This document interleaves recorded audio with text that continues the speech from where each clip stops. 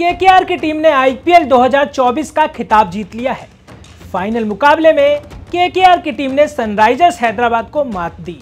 इस सीज़न की बात करें तो केकेआर की टीम के सभी प्लेयर्स का शानदार प्रदर्शन दिखा और टीम को तीसरी बार खिताब जिता दिया है। लेकिन आपको बता दें, आईपीएल 2024 में कुछ ऐसे प्लेयर्स भी थे जिनका प्रदर्शन शानदार रहा था, जिन्होंने इस सीज़न अपने खेल से सभी को प्रभावित किया। जिस वजह से उनके नाम भी कुछ रिकॉर्ड्स हैं और उनको भी इस आईपीएल 2024 के फाइनल में अवार्ड्स मिले हैं। तो एक एक करके बताएँगे कि कौन से वो खिलाड़ी हैं जिन्होंने आईपीएल 2024 में अपने प्रदर्शन से सबको प्रभावित किया। अगर बात करें आईपीएल 2024 में सबसे ज़्यादा रन बनाने वाले खिलाड़ी के बारे में तो ऑरेंज कैप का खिताब जिस खिलाड़ी को जाता है वो है विराट कोहली। विराट कोहली ने आईपीएल 2024 में अपने बल्ले से आरसीबी के लिए शानदार प्रदर्शन किया और ऑरेंज कैप का खिताब अपने नाम किया। विराट कोहली के प्रदर्शन की बात करें तो विराट कोहली ने 15 मैचों में टीम के लिए 741 रन बनाए। उनका स्ट्राइक रेट एक का था। वही आईपीएल 2024 के पर्पल कैप विनर की बात करें तो पर्पल कैप का खिताब पंजाब किंग्स के गेंदबाज हर्षल पटेल ने जीता है। हर्षल पटेल भले ही पंजाब की टीम को प्लेऑफ्स में ना पहुँचा पाए हों, लेकिन उन्होंने अपनी गेंदबाजी से सभी को प्रभावित किया। हर्षल पटेल के नाम इस सीज़न 14 मैचों में 24 विकेट है और उनकी इकोनॉमी 9.73 की है। हर्षल पटेल ने पंजाब के लिए अंतिम ओवर्स में शानदार गेंदबाजी की और टीम के लिए, कहते हैं, महत्वपूर्ण विकेट निकाल के दिए। वही अगर आईपीएल 2024 के अगले अवार्ड की बात करें तो आईपीएल 2024 का most valuable player of the award जो मिला है, वो केकेआर के खिलाड़ी सुनील नरेन को मिला है।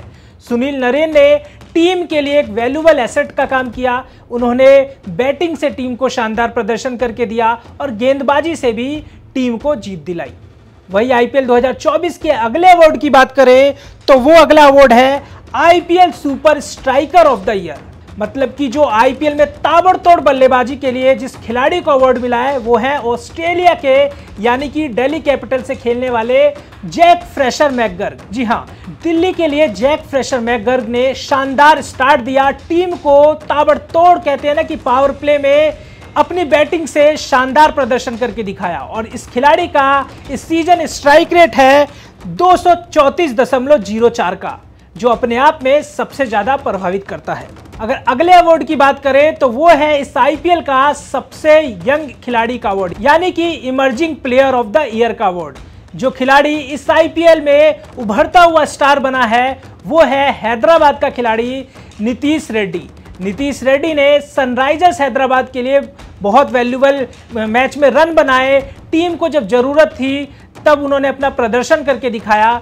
भले ही प्लेऑफ्स में उनका उस तरीके से रन नहीं आए, लेकिन इस खिलाड़ी ने हैदराबाद के लिए 20 साल की उम्र में कहते हैं ना कि टीम को जब ज़रूरत थी, अपने बल्ले से कमाल करके दिखाया था। अगर अगले अवार्ड की बात करें तो वो अवार्ड जाता है उस खिलाड़ी को जिसने इस आईपीएल में सबसे ज़्यादा छक्के लगाए हैं, यानी कि super sixes of the season और ये अवार्ड जाता है सनराइजर्स हैदराबाद के ही खिलाड़ी को, उनका नाम है अभिषेक शर्मा। जी हाँ अभिषेक शर्मा ने अपने बैटिंग से इस सीज़न सभी का दिल जीता और जिस तरीके से उन्होंने पावर प्ले में बैटिंग की, वो वाकई में देखने लायक थी और जिस तरह से वो ट्रेविस हेड के साथ ओपनिंग करते थे, वो काफ़ी ज़्यादा डिस्ट्रक्टिव थी। अभिषेक ने इस सीज़न बयालीस छक्के जड़ दिए हैं और आईपीएल 2024 में सबसे ज़्यादा छक्के मारने का रिकॉर्ड अभिषेक के नाम है। अगला जो अवार्ड है, वो इस सीज़न का बेस्ट कैच का अवार्ड यानी कि catch of the season catch of the season का अवार्ड जाता है केकेआर के खिलाड़ी रमनदीप सिंह को। रमनदीप सिंह ने इस सीज़न केकेआर के लिए शानदार बैटिंग की, फील्डिंग में टीम को जब जब ज़रूरत पड़ी, रमनदीप ने अपनी शानदार फील्डिंग से टीम के लिए रन बचाए। और यही वजह है कि आज केकेआर की टीम फाइनल में इतनी शानदार तरीके से जीत हासिल की और तीसरी बार केकेआर की टीम चैंपियन बन गई है। केकेआर की जीत में रमनदीप का जितना बैटिंग से योगदान है, उतना ही रमनदीप ने फील्डिंग से भी टीम के लिए अहम भूमिका निभाई।